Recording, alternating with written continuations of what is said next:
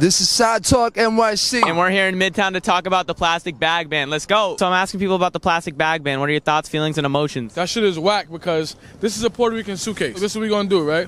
You gonna follow me on Instagram, and I'm gonna sell them, Oh shit. and then we go. This good. man is living in 3020. He is selling plastic bags. right now, right now. You on know the fucking vibes. I went yesterday to, to my local neighborhood store. I had to pay five cents for a brown paper bag. what do you want to say to the governor about plastic bags? We on to you. Yeah, y'all. we're on to you. watching you. Yeah. Watching you, Yeah, baby. don't try that shit on No, us. don't try that shit on us. Yeah. you heard? I need plastic bags, motherfucker. All these Louis bags that's fake got plastic. You want to talk about plastic? What about all the girls that got plastic faces? Kylie Jenner, uh, uh, all the strippers that got plastic asses. Plastic rights. Plastic rights, bro. Oh my god, you're back. Our Jezebel's children. on the verge of death. So what do you think about the plastic bag ban? Well, that's good for the environment, but I think people need to do stuff like stop shitting in the ocean. Facts.